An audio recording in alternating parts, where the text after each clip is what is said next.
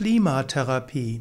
Klimatherapie ist die Therapie einer Erkrankung mittels Wechsels des Ortes und mittels eines anderen Klimas. Bestimmte Klimafaktoren haben Einfluss auf den Körper und auch auf die Psyche.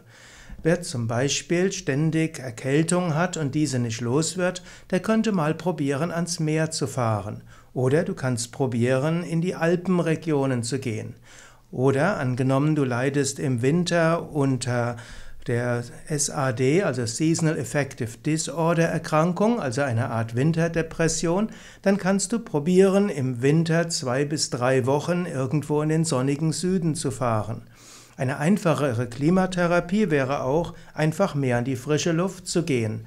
Das Klima in den Klimaanlagen der Büros ist eben oft nicht so, wie es für den Menschen gut ist.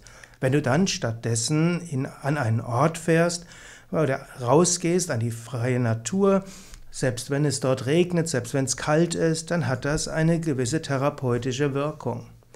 Es gibt auch das sogenannte Reizklima, zum Beispiel an der Nordsee oder auch in bestimmten Mittelgebirgslagen.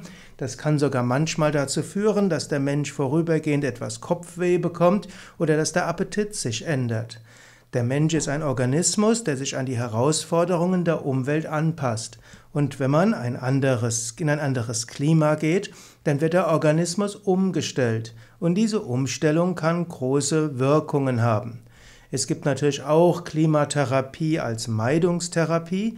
Zum Beispiel angenommen, jemand leidet unter Allergenen, dann kann es er leidet unter verschiedenen Heuschnupfen oder anderem, dann kann es hilfreich sein, direkt an die Küste zu gehen, wo es zum Beispiel weniger Pollen gibt.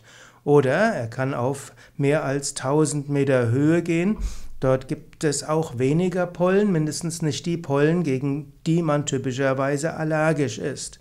Aber Klimatherapie in einem weiteren Sinne ist auch Reiztherapie, das heißt den Organismus anderen Reizen aussetzen und das kann eine positive Wirkung auf den Organismus haben. Du könntest das auch ausprobieren, im Urlaub mal an unterschiedliche Orte zu fahren, unterschiedliches Klima und schauen, welchen Einfluss hat das auf deine Erkrankungen oder auch auf deine Psyche.